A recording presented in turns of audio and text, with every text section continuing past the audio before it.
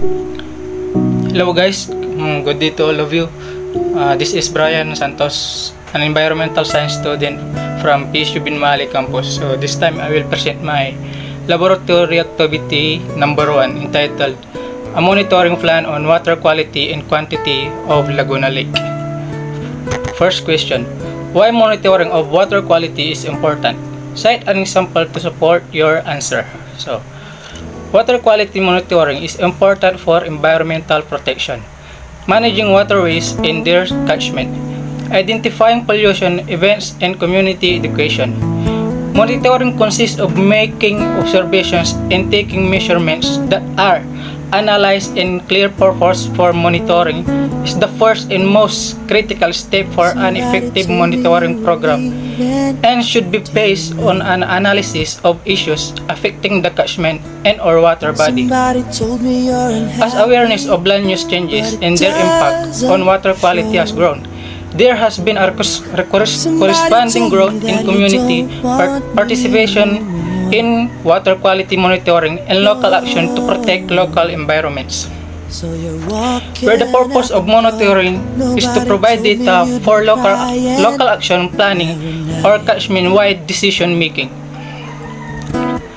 It is important that the monitoring provides data of, an, of unknown quality. It is essential that we know how good the data are if we are going to make good catchment, management decision or develop meaningful resource conditions target. In addition, water quality or WQM provides an understanding of water quality conditions in national stream, rivers, groundwater, and aquatic system. How those conditions vary lo locally, regionally, and nationally.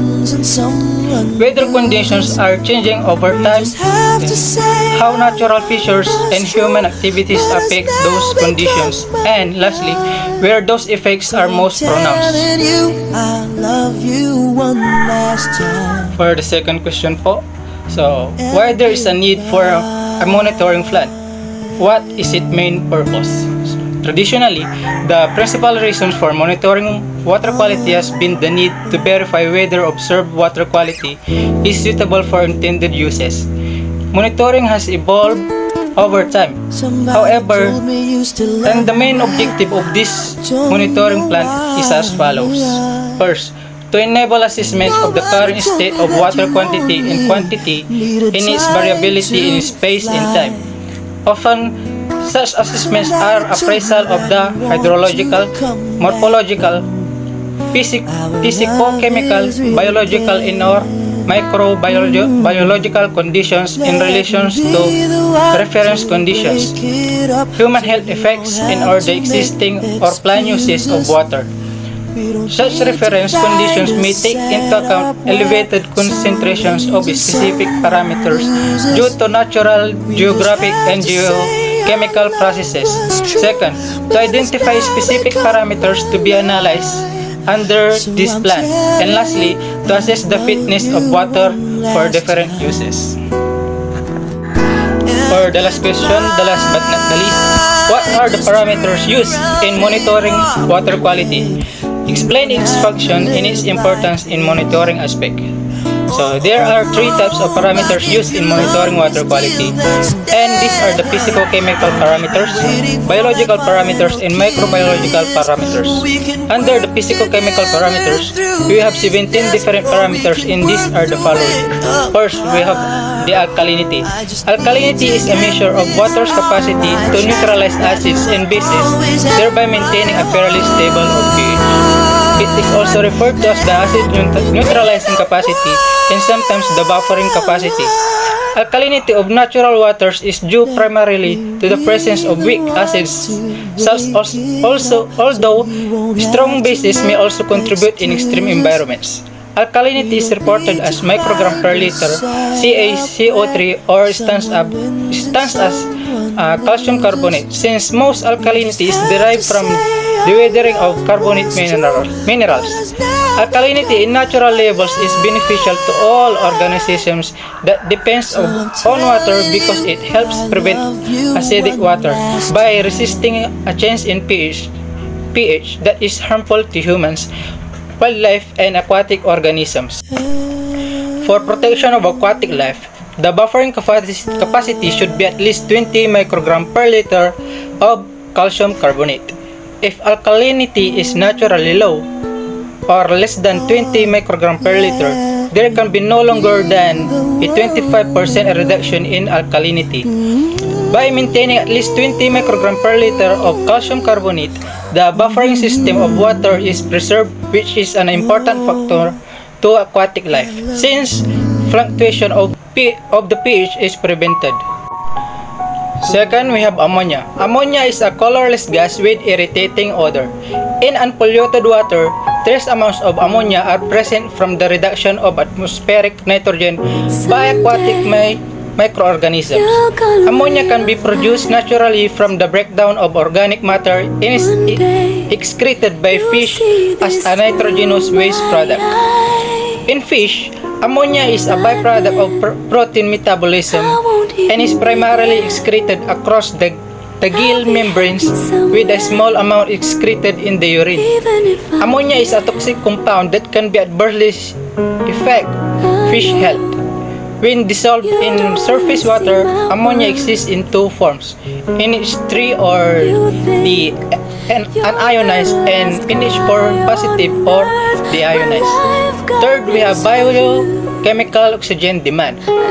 Biological oxygen demand or the BOD is the amount of oxygen required by microorganism for stabilizing biologically decomposed possible organic matter or the carbonaceous in water under aerobic conditions. That is, is used to determine the polluted the pollution load of wastewater, the degree of pollution and the efficiency of wastewater treatment methods. Uh, then BOD5 is calculated by measuring the amount of dissolved oxygen in a water sample when it is collected. Then keeping the sample of 20 degrees Celsius for 5 days and measuring dissolved oxygen again. So, fourth, we have calcium hardness. Calcium hardness is caused by the presence of calcium ions in the water.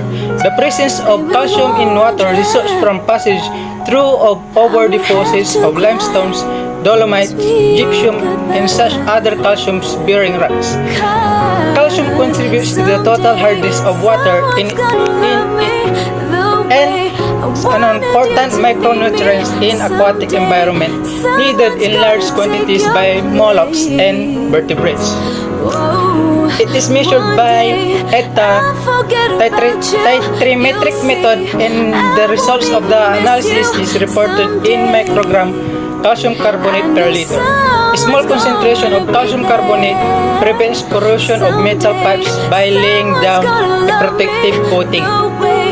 Calcium salts can, can also be readily precipitated from water and high levels of calcium hardness tends to promote scale formation in the water system. Number 5, we have chemical oxygen demand.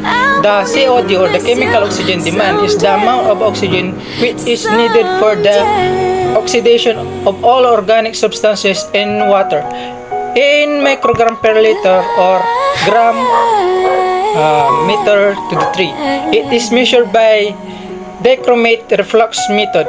The intrinsic limitation of the test lies in its ability to differentiate between the biologically oxidizable and inert materials. The main use of COD as an indicator of the organic and inorganic matter within water and effluent discharge is it provides information of the quantity of oxygen required to completely oxidize both the organic and inorganic materials present in water. Number 6, we have chloride. Chloride. In the form of chloride negative ion, is one of the major organic anions or negative ions in salt water and fresh water. It originates from the dissociation of salts such as sodium chloride or calcium chloride in water. These salts and their resulting chloride ions originate from natural minerals, salt waters, intrusion and industrial pollution. Number 7, we have dissolved oxygen. Aquatic organisms require oxygen in the free elemental state as a dissolved gas. The amount of dissolved oxygen or the DO in the water is fundamental to the survival of most aquatic organisms. Lack of significant levels of dissolved oxygen required by most aquatic organisms for respiration can cause impairment or death. The two main sources of dissolved oxygen are diffusion of oxygen from the air and photosynthetic activity. Oxygen is soluble in water and oxygen that is dissolved in water will equilibrate with the oxygen in atmosphere. Oxygen tends to be less soluble as temperature increases. Diffusion of oxygen from the air into water depends on the solubility of oxygen and is influenced by many other factors like water movements, temperature, salinity, and etc. Photosynthesis of aquatic plants will increase the DO during daylight, daylight hours and DO levels will fall during the nighttime hours. Number 8, we have inorganic phosphate. Phosphorus is an essential nutrient for aquatic life. It occurs naturally in the environment in small amounts.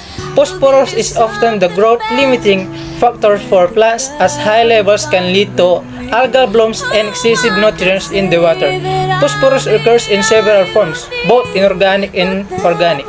Common sources of phosphorus include agricultural runoff, animal waste and sewage that contains organic phosphorus as well as inorganic phosphorus in products such as detergent. And number 9, we have nitrate. When we say nitrate, uh, nitrates are the most oxidized forms of nitrogen and the end products of aerobic decomposition of organic nitrogenous matter.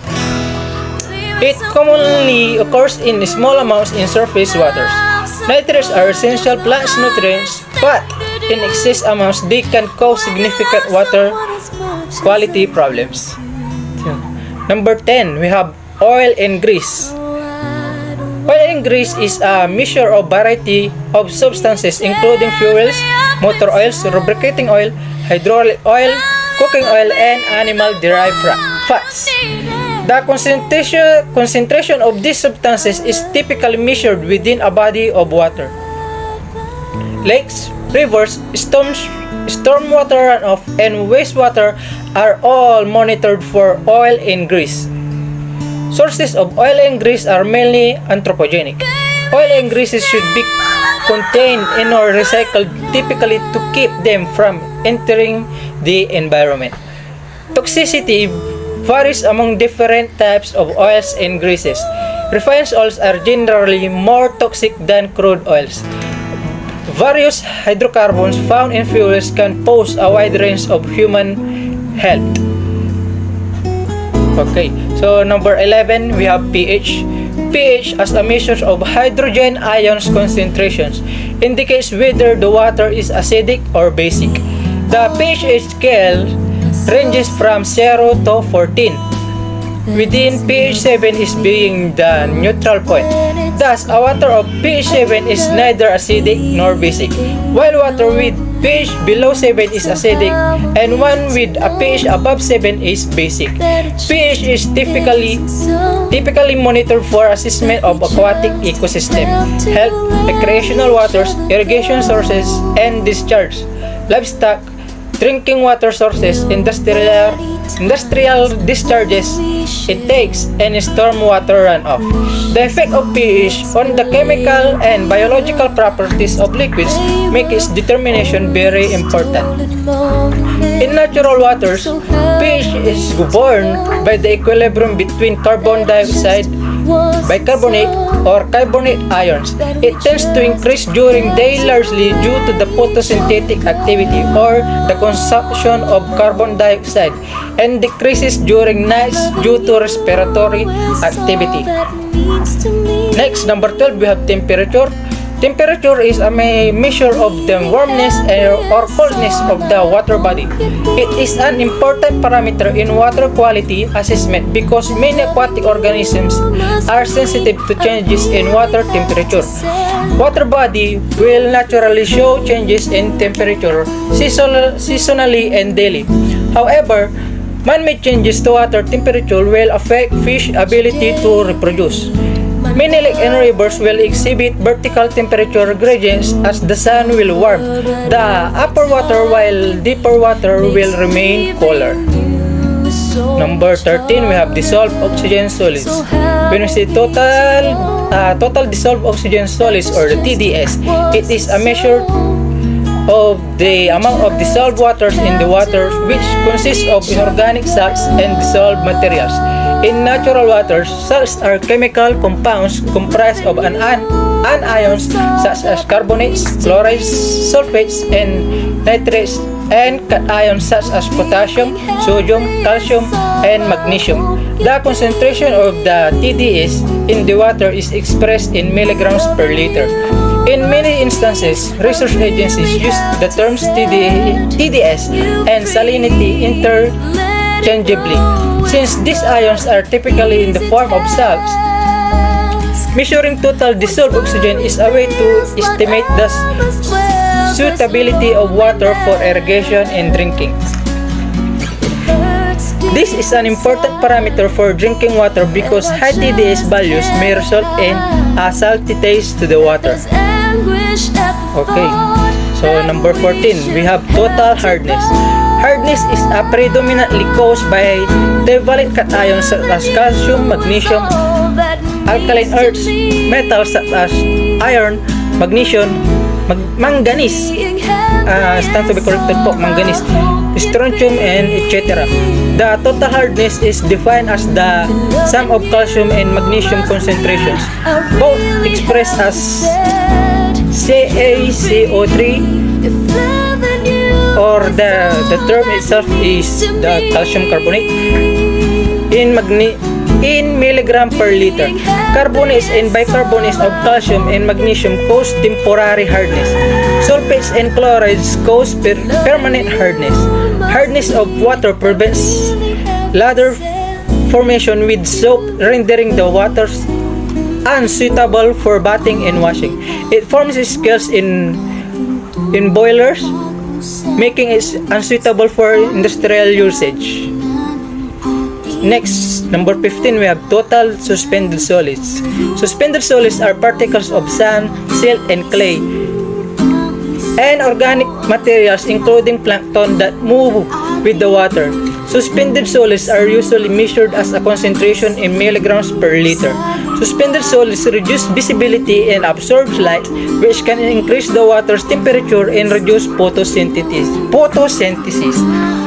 Impending aquatic plants photosynthesis reduces the amounts of food, habitat, and dissolved oxygen. Water with high suspended solid is unsatisfactory for bathing, industrial, and other purposes. High levels of suspended solids can cause problems for aquatic organisms because it can reduce visibility, thus making it hard for fish to find prey. Number 16 we have transparency. When we have transparency or the Secchi depth is a measure of how deep the light penetrates into the water column and therefore it is an indication of water clarity. This measurement as an alternative to measuring turbidity is obtained by lowering a black and white disk into the water and recording the depth from the from the time that it is visible and until it is no longer visible. Transparency is directly affected by the level of suspended particles and dissolved materials in the water. When assessed, along with the other parameters such as chlorophyll A, transparency measurements give us useful insight into the biological productivity in a lake and ultimately its water quality conditions. And and I think this is this will be the last the turbidity. Turbidity is a significant indicator of, of overall water quality. It is an expression of optical property wherein light is scattered by suspended particles present in water or the Tyndall effect. It and measure and is measured by nephelometric turbidity units suspended in colloidal, colloidal matter such as clay, silt, finely divided organic and inorganic matter, plankton, and other microscopic organisms can cause turbidity in water. Water that has high turbidity appears cloudy or opaque. High turbidity can cause increased water's temperature because suspended particles absorb more heat and can also reduce the amount of light penetrating the water. High levels of turbidity make it difficult for fish to, to find prey due to high levels of suspended solids. Under biological parameters, we have phytoplankton, zooplankton, and benthos. Uh, phytoplankton is also known as algae and it refers to free-floating plants which inhabits the illuminated surface waters of the sea, estuaries, lakes, and ponds.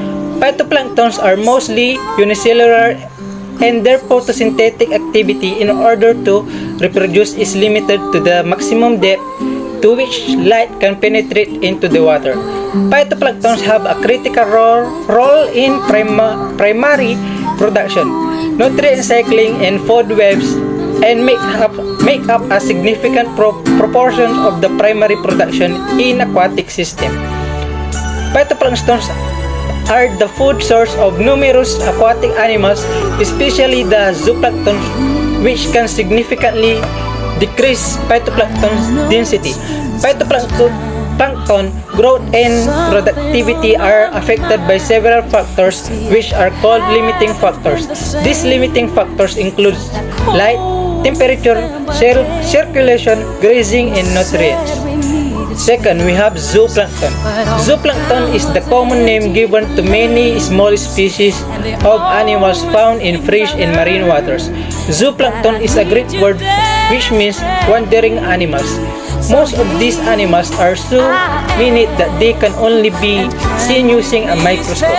Zooplankton floats in, in the water column and drifts with their currents because of their limited powers of locomotion.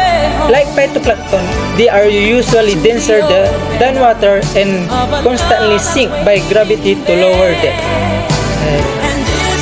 the third, we have benthos, which refers to the benthic invertebrate community, which is a group of animals that live on or in the bottom sediments of water bodies such as lakes and rivers. Benthic microinvertebrates include crustaceans, mollusks, worms, and many species of insects, insect larvae such as mayflies, stoneflies, caddisflies, and beetles.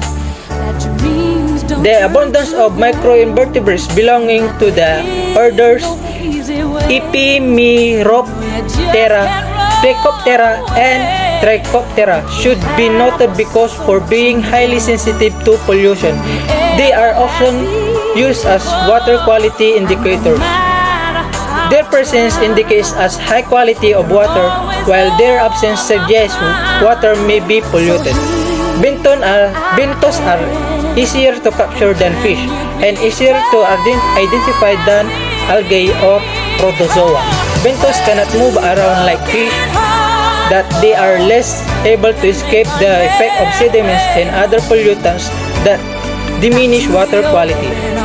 Thus, bentos can give us reliable, info reliable information on streams and lakes water quality because their long life cycles will allow studies conducted by aquatic ecologists to determine any decline in environmental quality.